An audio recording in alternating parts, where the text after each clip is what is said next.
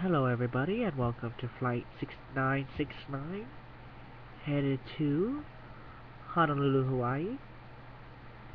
The current time is 4.02 p.m. about to take off. If you now turn your tables up to the upright positions and get ready for departure.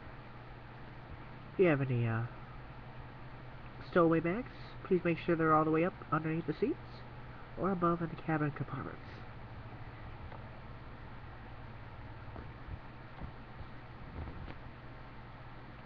In the unlikely event that there is a water landing, use your uh, seats as a flotation device.